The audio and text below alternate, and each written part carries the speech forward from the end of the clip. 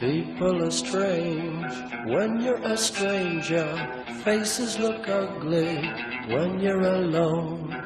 Women seem wicked when you're unwanted. Streets are uneven when you're down. When you're strange, faces come out of the rain. When you're strange, no one remembers your name. When you're strange when you're strange, when you're strange. My dad, the janitor, savior of all food remnants and garbage. No, actually, he's just a janitor at my school. Lots of kids with janitors for fathers would be embarrassed to say that. But I could care less. Janitors make good money, and my dad does his job. Teachers and students don't respect them. One teacher has a big problem not just with my dad, but janitors in general. Unfortunately, he asked to have his face hidden. When dignitaries, alumni, parents come into this building, it is an absolute disgrace. But I know for a fact that they could be doing their job to a much higher standard. They really do do their jobs. Students seem to have mixed feelings on the subject. I feel that the janitors at Lynn Classical High I work into their fullest ability.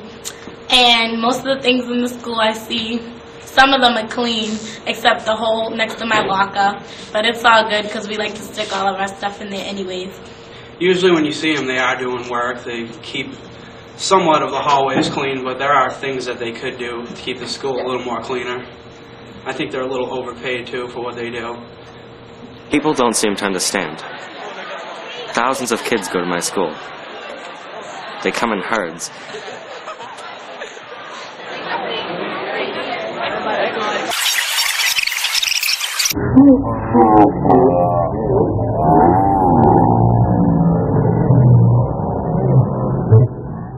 Not to mention, they're the most vile, disgusting creatures I've ever had the misfortune of laying my eyes on. My mom and dad divorced when I was really young. I don't remember much. I don't live with my dad because we don't get along when we're in the same house. It's just easier living with my mom. Dad seems to follow me around from school to school. I asked my dad why he follows me around. It's good because I get to keep an extra eye on you. And is it just a coincidence that you get a job at all of my schools, or are you just following me? Uh, just a coincidence. It just happens that uh, you go to the better schools, which I help you get to the better schools, which obviously I would like to be at the better schools too. He's more than just a guy who cleans up after people. He's a father, he was a husband, and he's a huge Doors fan. That's it? This is the end, beautiful friend. This is the end, my only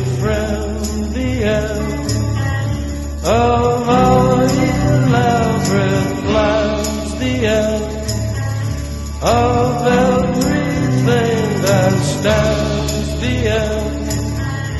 No safety or surprise, the end. I'll never look into your eyes again.